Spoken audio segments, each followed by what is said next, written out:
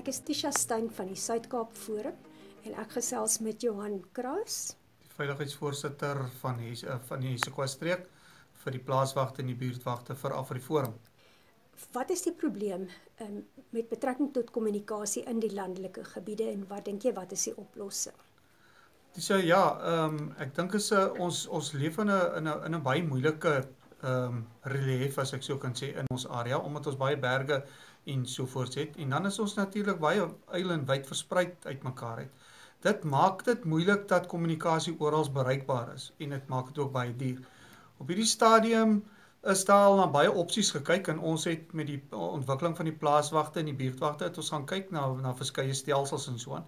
En ons het gevind dat ehm um, die beste stelsel op uh, om te kan implementeer is dan radiostelsels en ons het dan ook gaan kyk na dit en ook geïmplementeer.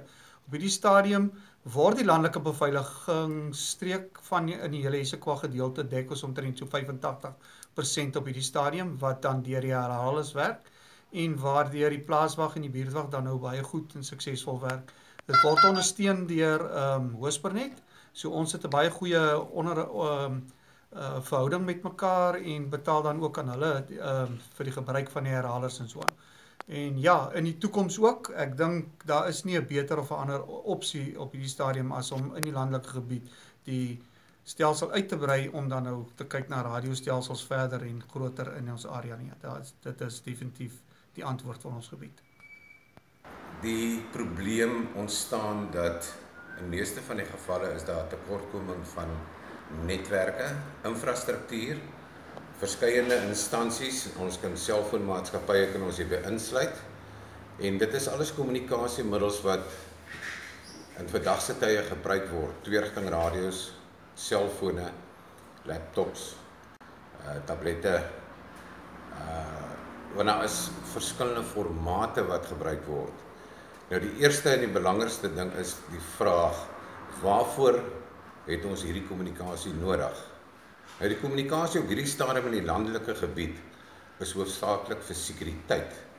Nou as ons kyk na sekuriteit, moet jy vir jou 'n paar vrae vra. Het jy tyd in 'n tyd van eh, nood om 'n WhatsApp te tik, te stuur na die regte groep te stuur? Uh of het jy net die bietjie tyd om 'n knoppie te druk, te praat wie jy is, waar jy is en in meeste van die gevalle kan jy net sê right uh ek word daar's 'n aanval of daar's 'n skietery.